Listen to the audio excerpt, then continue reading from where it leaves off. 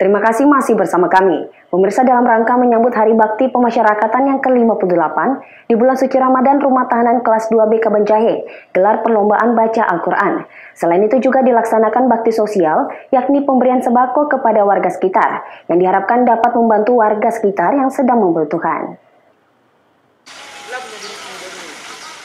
Dalam rangka menyambut Hari Bakti Pemasyarakatan yang ke-58, Rumah Tahanan Kelas 2 BK Banjahe Kabupaten Karo, Sumatera Utara menggelar perlombaan baca Al-Quran dan azan kepada warga binaan.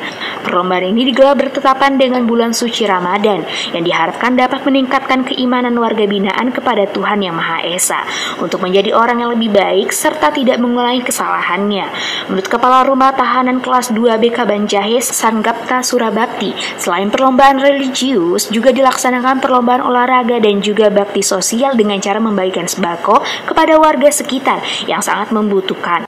Bukan merupakan bagian daripada rangkaian eh, Hari Bakti Pemasyarakatan yang ke-58 di tahun 2022 ini. Eh, kegiatan hari ini adalah pembagian bakti sosial kepada seluruh eh, masyarakat yang berada di seputaran Rutan Kabanjahe. Terkhusus di bulan ini adalah bulan suci Ramadan, bulan puasa, kami melakukan beberapa kegiatan sifatnya eh, rohani muslim, yakni pembaca lomba ajan, lomba baca Al-Quran. Dan selama bulan puasa ini, warga binaan yang muslim pun mendapat pelajaran agama dan tausiah untuk lebih meningkatkan diri kepada Tuhan Yang Maha Esa. Chandra Bukit melaporkan dari Karo untuk Evarina TV.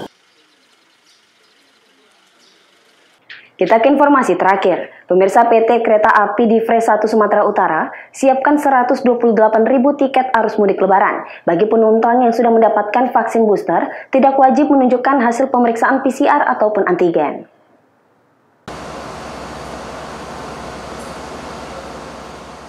Menyambut libur lebaran PT KAI di Fres 1 Sumatera Utara menyiapkan 32 lokomotif dan 62 kereta yang terbagi dalam perjalanan kereta api antar kota yakni kereta api Seribila, rute Medan Rantau Perapat, kereta api Putri Deli, rute Medan Tanjung Balai, juga perjalanan kereta api Siantar Express dengan rute Medan dan Pematang Siantar. Total tiket yang disediakan untuk menyambut arus mudik berjumlah 128 ribu. Selain persiapan daya tampung kereta, PT KAI juga melakukan pemeriksaan jalur dan mengoptimalkan perawatan lokomotif guna menunjang pelayanan arus mudik. Setelah dibuka sejak awal April lalu, pihak PT KAI mengaku penjualan tiket masih rendah yang saat ini baru terjual 8.000 lebih tiket atau hanya mencapai 6% dari total tiket yang disediakan. Penjualan tiket yang masih rendah ini disebabkan kebiasaan warga yang memesan tiket dekat dengan hari keberangkatan, sebab warga tidak khawatir kehabisan tiket. Untuk syarat perjalanan, penumpang yang telah mendapatkan vaksin booster tidak wajib menyertakan hasil pemeriksaan antigen maupun PCR. Kami ada 128.612 tiket ya, yang kami sediakan. Jadi itu ada tiga kereta, keretanya Sribila, Putri Deli, sama Siantar Express. Nah itu dari tiga kereta tersebut kami sediakan total 128.612 tiket. Nah sampai pada hari ini baru terjual sekitar 8.300 94 tiket. Jadi memang angkanya masih kecil presentasi. Nah, hal ini memang e, karakteristik masyarakat di Medan atau Sumatera Utara ini lebih suka membeli tiket ketika mendekati hari H.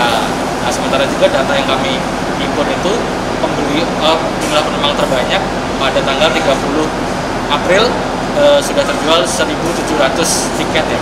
Jadi memang diperkirakan puncaknya itu pada 30 April atau H- untuk persyaratan sendiri setelah keluar SAE nomor 39 dan juga ada SE 49 yang telah di ada sedikit revisi. Jadi yang paling utama adalah booster. Jadi untuk yang sudah tiga kali vaksin dia tidak perlu melengkapi syarat tambahan lain.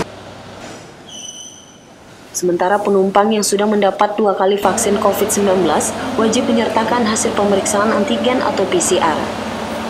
Masa angkutan lebaran diperkirakan mulai tanggal 22 April hingga tanggal 13 Mei. Wahyu Pertama melaporkan dari Medan untuk Evarina TV.